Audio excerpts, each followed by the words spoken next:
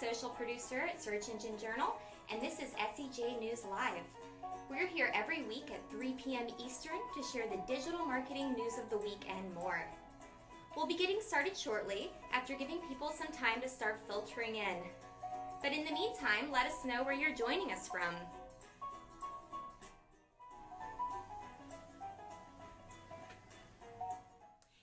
Take long for new SEO best practices to become outdated, irrelevant, and even harmful to your SEO efforts. With constant Google algorithm updates, changes in the ways we search, and shifts in technology, it can be a full time job just to keep up with the changes in SEO. So that's why this week SEJ published a completely updated SEO guide written by experts in the industry.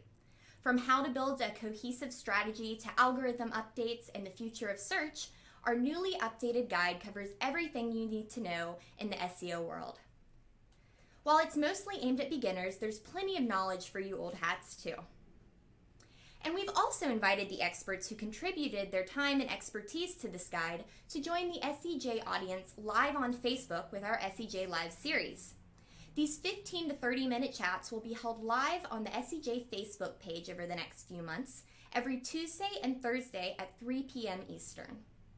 The experts will be answering popular questions about their guide topic, and they'll also be taking live audience questions during the session. Eric Enge kicked us off yesterday with a great live session on what to do when things go wrong in SEO. Join us for our next one on next Tuesday, September 13th, to hear Brian Harnish answer questions on local SEO. We have the full schedule up on searchenginejournal.com. Check out the link that will be added in the comments to see who else is coming up. Are you happy Google is likely going to is likely going to penalize sites for interstitials? We posed this question to our readers on social media this week. A resounding 80% said yes, they are happy. When I originally posed this question on Monday, I wasn't sure how the results would turn out. Are marketers nervous about how this affect this will affect their work? However, I think with the plethora of information we've had detailing these changes lately, as well as having advance notice of the change, has quelled a lot of the industry fears. And it makes sense. Who likes having ads ruin not only our own user experiences, but also making our customers unhappy? So, what do you think? Uh, are you happy that Google is likely going to penalize sites for interstitials? Uh, comment now and let us know. And now for your digital marketing news of the week. There's been some discussion amongst SEOs as to whether or not a Google algor- algorithm update occurred last week. Concern was raised when multiple SEOs reported seeing alarming fluctuations in the sites that they monitor. So, did Google update its algorithm last week? The closest thing that we have to an answer is a statement from Google's John Mueller, who addressed the question in a Google Webmasters Hangout session. Mueller said, It wasn't Penguin, but we do roll out a lot of updates over time, sometimes multiple updates. This isn't the kind of update that we would announce. Google hasn't released a Penguin update in years. And that's why, whenever there are major changes in search traffic and rankings, everyone wants to know if the latest Penguin update has rolled out. I think that we can feel safe knowing that when Google does update its Penguin algorithm, the company will make a public announcement just as it has done with all preceding Penguin updates. A new advertising experience called Shop the Look is now available to AdWords advertisers. Shop the Look makes it possible to sell clothing directly in Google search results pages. Shop the Look is an experience designed for searchers who are ready to make a purchase but aren't exactly sure what brand they want to buy. For example, if you're in the market for new gym clothes, you can type in a generic term like gym clothes for men. Google will then return a carousel full of clothing models wearing various brands of gym attire. If you see an outfit you like, tap on the image to bring up a page with shopping ads for each item the model is wearing. As an added bonus, Google will even recommend visually similar pieces of clothing. Tell, but there may be no better way to convert than having the option to buy immediately after searching for your product. This update could end up being a boon for online retailers. And best of all, if you're already running a shopping campaign that's optimized for mobile, there's nothing extra to do. Your product ads are already eligible to be displayed in the new Shop the Look category. The new ad experience first began as an experiment launched during Fashion Week, but it is rolling out this week to all retail advertisers.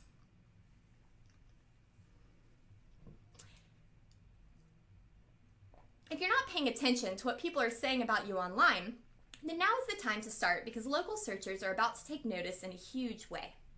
Reviews from the web are being added to Google's Knowledge panel in search results. This update is available worldwide on mobile and desktop.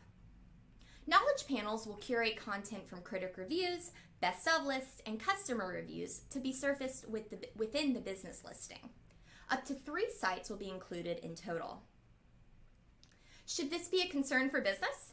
Not if they're providing the best experience they can for every customer who walks through their door. In fact, having testimonials show up in your business listing and search should really be seen as a great thing for businesses. Google has long had a policy in place warning webmasters against unnatural, low quality, or keyword rich widget links. In fact, the policy has been in place so long that it's become a fairly common SEO best practice. So, why is it in the news again this week? Well, Google has taken it upon itself to reiterate this policy, specifically warning against unnatural links.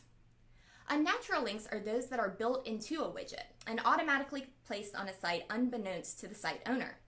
Often they contain keyword rich anchor text as well, and the worst part is site owners have no control over it. So even though the site owner may be unaware they're publishing links on their site in a black hat fashion, Google will still be penalizing the use of unnaturally placed links. Upon being hit with such a penalty, Google will notify the site owner through the Search Console. Again, this policy has been in place for years. Uh, Google is just now reminding everyone that it's still in effect. So, what does this mean for the amount of widget links on the web? Maybe Google is about to ramp up in efforts penalizing them. This is just pure speculation, but you have to think there must be a reason why Google is deciding to remind everyone about an old policy. So, what sort of things would you like to see in future episodes of SEJ News Live? We'd love to hear your suggestions in the comments. Um, I love you guys being involved. It's so exciting to see the comments pop up um, while I'm kind of watching my face right here. So, thank you for joining us. Tune in every Friday on Facebook at 3 p.m. Eastern Time for our look at the digital marketing news of the week. Or you can make it even easier by subscribing to live notifications. As soon as this broadcast ends, click the live notification button. It'll let you know the next time we start a live broadcast. If you're watching this after we record, you can also click the down arrow in the top right corner of the box and your uh, um, of the box and you can subscribe to live notifications there. And that's all we have for today. Thank you so much for joining me. Have a great weekend.